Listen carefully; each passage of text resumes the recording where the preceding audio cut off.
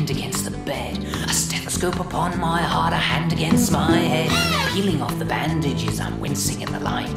The nurse is looking anxious and she's quivering with fright. I'm looking through Gary Gilmore's eyes. Looking through Gary Gilmore's eyes. Looking through Gary Gilmore's eyes.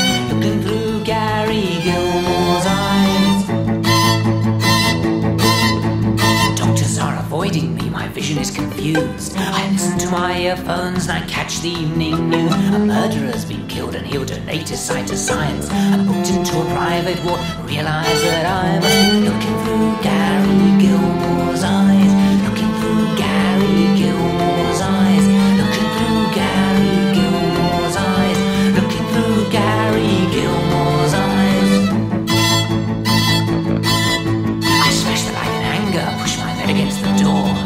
close my eyes, I close my lids, I wish to hear no more. The iris sees the messages and sends them to the brain.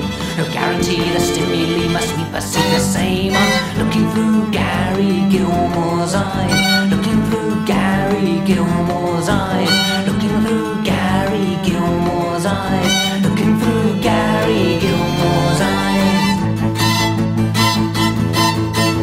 Looking through Gary Gilmore's eyes, looking through